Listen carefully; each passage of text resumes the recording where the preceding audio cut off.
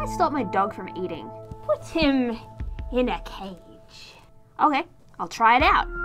Tell me if it works. I will.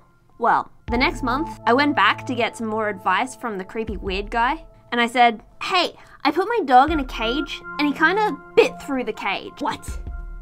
You have a crazy dog, sir.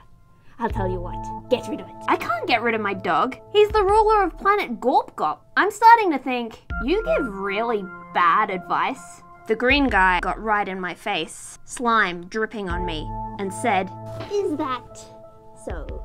Uh, Well, I have one more piece of advice for you.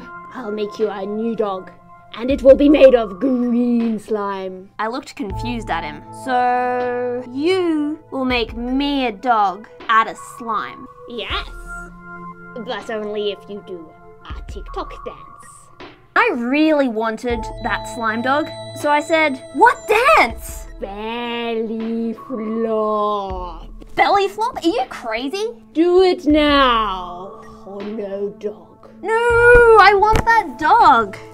So then I started to get ready, and then I did it. It hurt.